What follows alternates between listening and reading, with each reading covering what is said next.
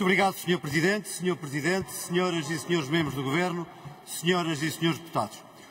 O Governo anunciou o novo aeroporto, a terceira travessia do Tejo e a ligação entre Lisboa e Madrid e linha de alta velocidade.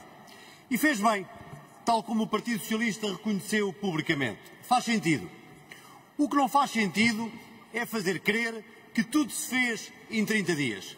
Isso não, Sr. Ministro. Em resumo, e só sobre a linha de alta velocidade.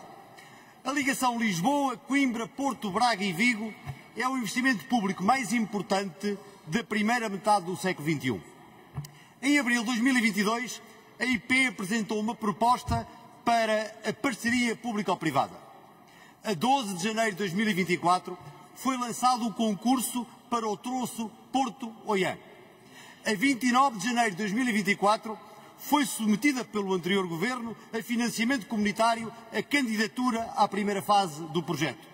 Até ao final do primeiro semestre de 2024, a IP deverá lançar o concurso para o segundo troço entre Oiã e Sor, ainda na primeira fase. A fase 1 tem conclusão para 2030 e aproximará já substancialmente Lisboa e o Porto. A fase 2 terá o concurso para o início de 2025 e a fase 3 corresponde ao troço carregado Lisboa. Também neste contexto, o Corredor Internacional Sul ganha relevância e a linha entre Évora e Elvas, em execução num dos mais importantes investimentos em ferrovia dos últimos largos anos, está agora também interligada com a ligação a Madrid. Ou seja, Sr. Ministro, não é correto, certamente, fazer como os cucos. Os cucos são aquelas aves que põem os ovos no ninho que outros constroem.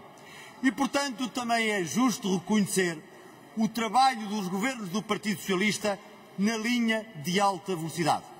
Pelo que pergunto, se no que foi lançado e programado pelos anteriores governos do Partido Socialista, nomeadamente na ligação entre Lisboa, Coimbra, Porto, Braga e Vigo, se há alguma alteração ao projeto e se há alguma alteração ao calendário previsto. Muito obrigado. Muito obrigado.